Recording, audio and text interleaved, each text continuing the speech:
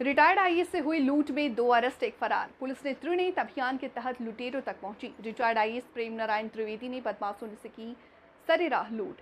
Crime branch surveillance और स्थानीय police से ऑपरेशन में सफलता राज प्रताप सिंह उर्फ़ बाबू उर्फ़ छपरी और इंद कुमार उर्फ़ इंदेल अरेस्ट वारदात के बाद से सैबिर श्रीवास्तव उर्फ़ राहुल पुलिस गिरफ्त से दूर। बदमाशों के पास से असलाहा समेत लूट का सामान बेची हुई रकम बरामद। राज प्रताप सिंह उर्फ़ बाबू उर्फ़ छपरी के खिलाफ आर्म्स एक्ट के तहत हुआ केस दर्ज।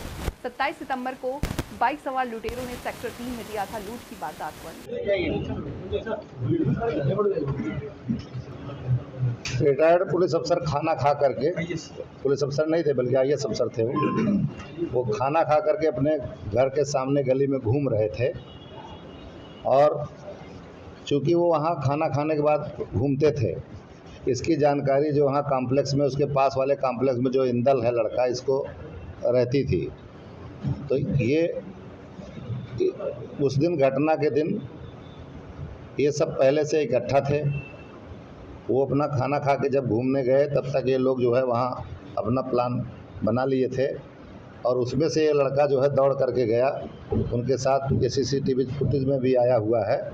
पहले चार, तीन लोग जो है वहाँ अपना कर रहे थे, उसकी भी।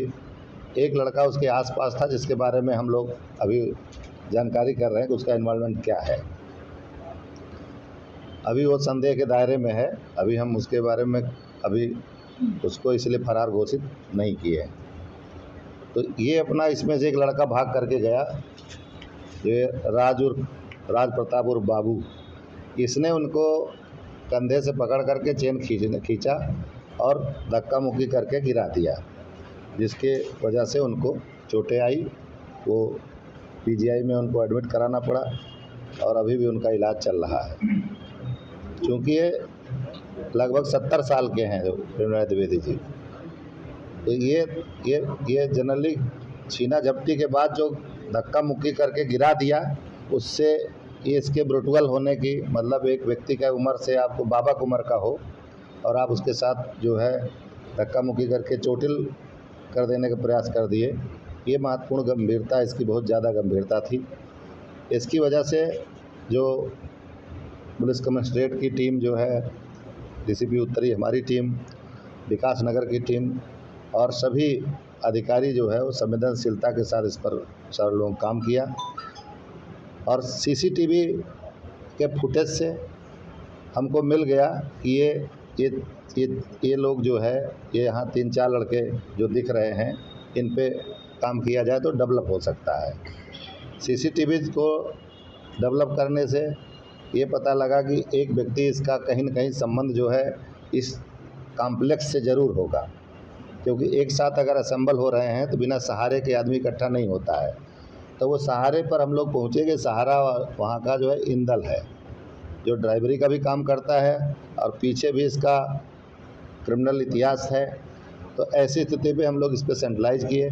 इससे पूछ, इससे पकड़ा गया, इसके पकड़ने से पूछताछ में चीज़ें आगे सुराग की फिर हम लोगों ने इस पर सर्विलांस पे लोगों को लिया। सर्विलांस में जिसको अभी हम लोग फरार बता रहे हैं, वो लड़का अभी अभी वो फरार है। उसके अंदर उसका जो भी उसकी भूमिका थी जो सारी चीज़ें थी स्पष्ट हो गई। ये लोग यहाँ से ले कर के, चैन ले कर के और जा कर के चिन्हट में लड़का जो राज है, ये वहाँ रुका।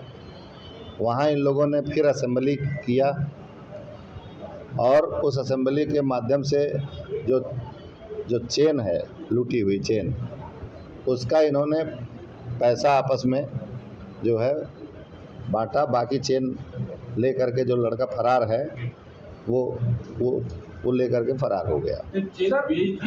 नहीं पेन चेन चेन बेचा बेचा व्यवहारिक बेच दिया। व्यवहारिक बेच दिया इतना पैसा दो बाकी बाद में देना। जो आपस में चार तीन लोग थे उन्होंने एक लड़का जो फरार है उसने कहा कि हम मोटा मोटी इतना पैसा इसको समझ करके हम दे दे रहे हैं आपस में। बाकी हम इसको और बेच करके जो पैसा होगा और देंगे। सर राज प्रताप की बात की बात की जाए दोनों का आपस में कनेक्शन कैसे क्योंकि फोर ट्वेंटी के दो नहीं नहीं।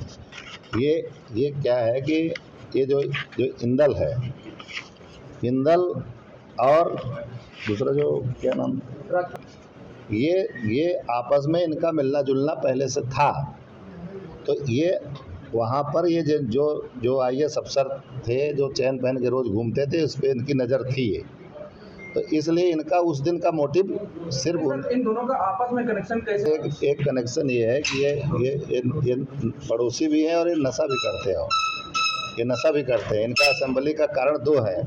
दूसरा जो लड़का जो जो फरार है वो आसपास ही रहता है इसके इंदल के कॉम्प्लेक्स के। और ये जो है नशा भी करते हैं आपस में बैठ करके। तो एक प्रकार एक असेंबली के इनके दो रेज एक तो उसको नज़दीक रहने की वजह से नज़दीक रहता है दूसरा एक बीच बीच में गांजा भी पीते हैं। सर क्या इसमें मोटिव सट्टेबाजी को लेकर के लूट नहीं की गई। लूट का सीधे सीधे मोटिव है। एक आदमी साफ्ट टारगेट है जो चेन पहन के घूम रहा है तो इनको इनका पीछे जैसे है कि इनका काम ही काम है किसी से डिस्पोजेशन करना चोरी के मुकदमे हैं पला भी हैं तो इनका हरकत जो है वो दूसरे के दूसरे के प्रॉपर्टी लेकर के लाभ ले लेना है। तो ऐसी स्थिति में उनके गले में रोज़ इनको दिखता था कि सोने की चेन पहन के घूमते हैं।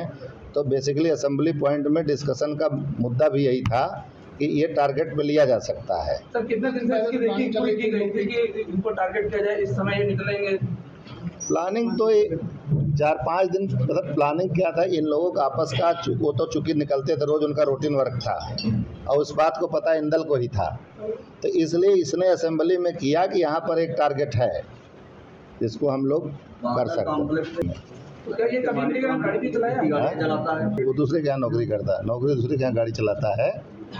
और जो मालिक है उनके बारे में हम लोग जानकारी अभी कर रहे हैं कि इनके मालिक कर सकते हैं।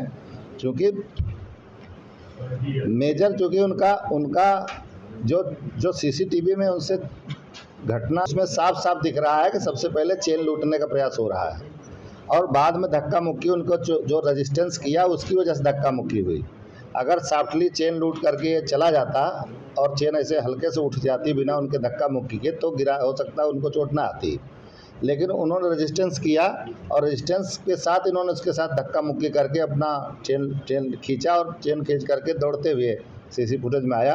तो जिससे हम लोग इस निष्कर्ष पे पहुँच गए कि मोटिव जो है उनसे लड़ाई झगड़ा नहीं है। मोटिव चेन लूटना था। सर क्या उस समय जब असलहे का उस समय प्रयोग नहीं किया गया है जिस समय हुई है। असलहा इसके साथ बरामद हुआ है। असलहे का उस समय प्रयोग नहीं। सर उनके पास रखते हैं जो लोग। उनकी प्राथमिक ज़िम्मेदारी है। हम लोग कई बार आप देखे होंगे पुलिस